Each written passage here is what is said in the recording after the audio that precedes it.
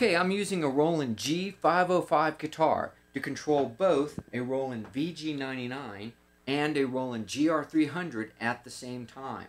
And I'm doing that by using a Roland US2 unit switcher and a BX13VX bus converter.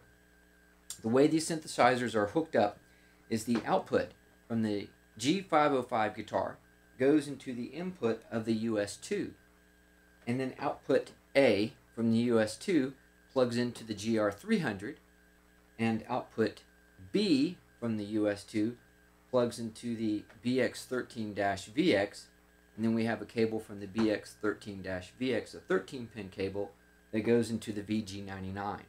And it's important that you hook these synthesizers up in this way because the GR300 and the VG99 actually run on two different uh, power standards. The vintage synthesizers are around plus and minus 15 volts, and the modern synthesizers are around plus and minus 7 volts. And the US2 gets its power from whatever synthesizer is plugged into input A. So by plugging the GR300 into input A, the US2 is getting the plus and minus 15 volt power supply it needs to operate. Output B, we have the BX13VX connected into output B, there is no power connection to output B. So the BX13VX instead receives its power from the VG99 and the BX13VX is designed to work with the power supply in the VG99.